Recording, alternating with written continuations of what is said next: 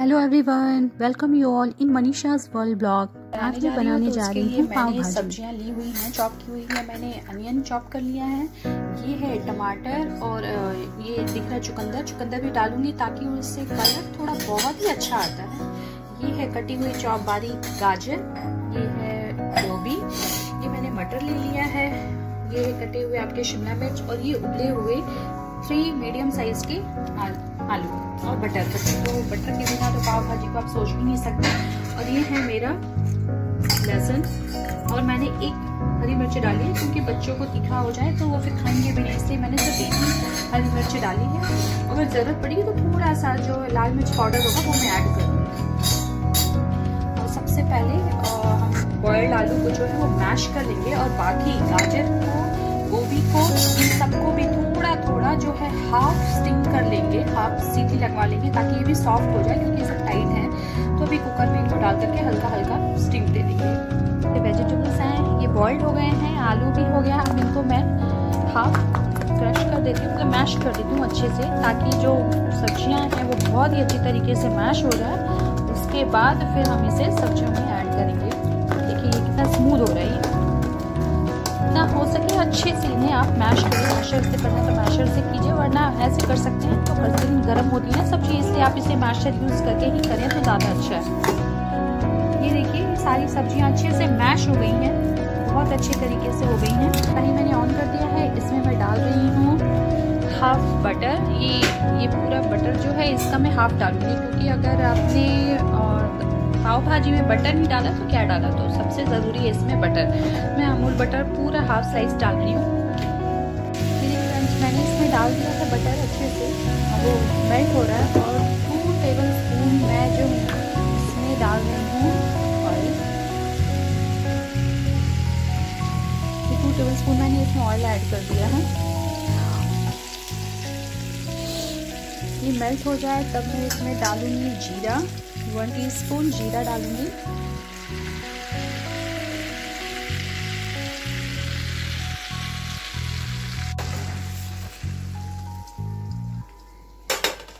मैंने इसमें जीरा ऐड कर दिया है।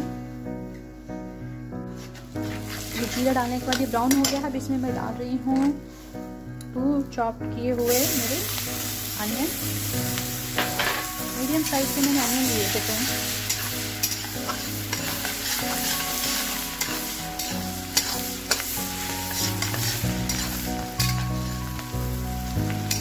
गोल्डन ब्राउन होता है तो इसमें मैं अपना ऐड कर दूँगी। जिंजर गार्लिक पानी ज़्यादा गर्म हो गया तो तुरंत ये ब्राउन हो चुका है। इसमें अब मैं ऐड कर रही हूँ अदरक, लहसुन और एक ग्रीन चिली मैंने पेस्ट नहीं यूज़ किया इसे ऐसे चॉप करके यूज़ किया है। चॉप का जो फ्लेवर होता है वो बहुत ज़्यादा ही अच्छा आता है। मुझे ऐसा लगता है। तो इसलिए मैं हमेशा चॉप करके ही डालती हूँ। छोले वोले डालती हूँ तो उसमें जो है मैं वो प्याज के साथ ही उसे पीस लेती हूँ। देखिए अच्छे से हो रहा है फ्राई आई थिंक ये हो गया गोल्डन ब्राउन हो गया। काफ़ी गर्म हो गई कढ़ाई तो ये गोल्डन ब्राउन हो चुका है।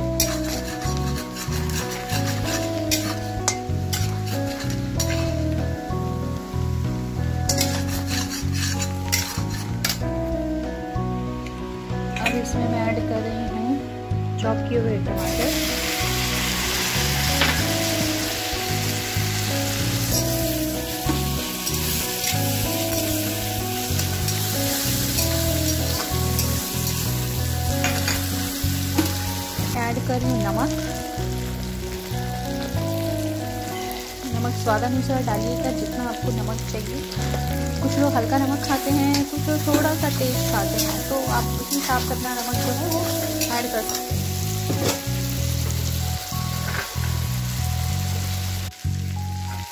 ये टमाटर जो है वो मेल्ट पूरा अच्छे से पक रहा है तो अब मैं इसमें थोड़ा डालती हूँ हाफ़ टी स्पून हल्दी पाउडर।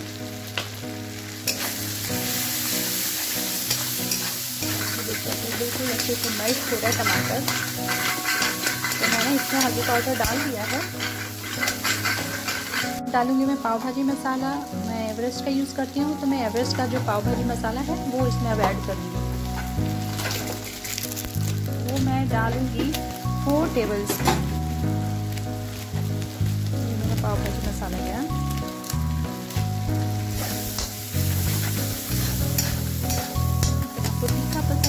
मिर्ची पाउडर ऐड कर सकते हैं। मैंने मिर्ची पाउडर नहीं ऐड किया क्योंकि मेरे बच्चों को तीखा ज़्यादा नहीं पसंद है। सब्ज़ी ऐसे कुरकुरे खा लेंगे, लेकिन जो सब्ज़ी में तीखा होगा तो वो फिर खाएँगे नहीं। तो इसलिए फिर इसमें मैंने एक ही मैंने हरी मिर्च डाली थी, बस। मेल्ट हो गया है, सब कुछ अच्छे से पक गया है, तेल भी ऊपर आ गया है। तो अब मैं जो मैस्ड हमने जो पोटैटो पीज़ और बाकी चीज़ें रखी थी, वो सब मैं ऐड कर देती हूँ। इसमें अब ये कैप्सिकम जो था, उसे मैंने नहीं डाला था। इससे पहले थोड़ा फ्राई कर लूँगी। कैप्सिकम जो है, वो थोड़ा खड़ा रहता है तो अच्छा लगता है। क्योंकि मैंने इसको पहले ना उबालने में भी नहीं डाला था। टेस्ट अलग से आया तो ज़्यादा अच्छा लगता है। कैप्सिकम को तो वैसे भी पकने में टाइम नहीं लगता तो मैं दो तीन मिनट में ये पक जाए। वैसे ही, फिर मैं मैस्ट जो मेरी वेजीज हैं, उनको मैं इसमें ऐड कर दूँगी।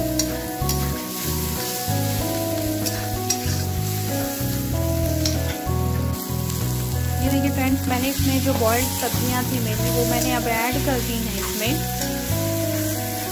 ये देखिए कितना अच्छा लग रहा है इसका कलर थोड़ा देर, दो तीन मिनट पकाने के बाद इसमें जितनी थिक ग्रेवी चाहिए, उसके हिसाब से पानी ऐड कर सकते हैं। पहले मैं इसे थोड़ा सा फ्राई कर लूँ, क्योंकि सब अभी कच्चे ही हैं मतलब बॉयल तो हैं, लेकिन थोड़ा फ्राई हो जाता है तो टेस्ट और अच्छा आता है। तो ये सब्ज़ियाँ थोड़ी अच्छे से हो गया ये मैंने इसमें, मैंने बताया था ना कि मैंने चुकंदर को थोड़ा सा क्रश करके रख लिया था। अब उसको ऐड कर दिया है इसमें। चुकंदर डालने से कलर इसका बहुत ही अच्छा आता है। अब आप चुकंदर जो है, एक साइज़ में चुकंदर का जाएगा तो उसका कलर थोड़ा रेडिश आता है तो इसलिए वो अच्छा लगता है देखने में।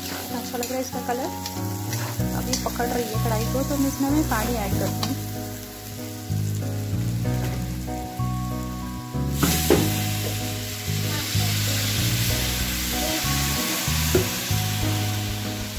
मैंने टू कप पानी इसमें ऐड किया है। आपको और जितना चाहिए होगा, अब ये इतनी ग्रेवी मेरे लिए ठीक है, इतनी थिक बहुत ज़्यादा नहीं चाहिए थिक होना ही पतला तो आपको जितनी चाहिए, आप उस हिसाब से पानी डाल सकते हैं। से थोड़ी देर बॉईल हो जाए, उसके बाद हम ऑफ़ कर देंगे। मुझे ऐसा लगता है कि हर कोई बनाता होगा। आप किस तरीके से बनाते हैं प्लीज़ मुझे कमेंट बॉक्स में बताइएगा कि आपकी जो रेसिपी है वो कैसी है और मेरी रेसिपी आपको कैसी लगी। तो प्लीज़ मुझे बताइएगा कि पाव भाजी का जो मेरा तरीका है वो कैसा है और आपका जो तरीका है वो कैसा है।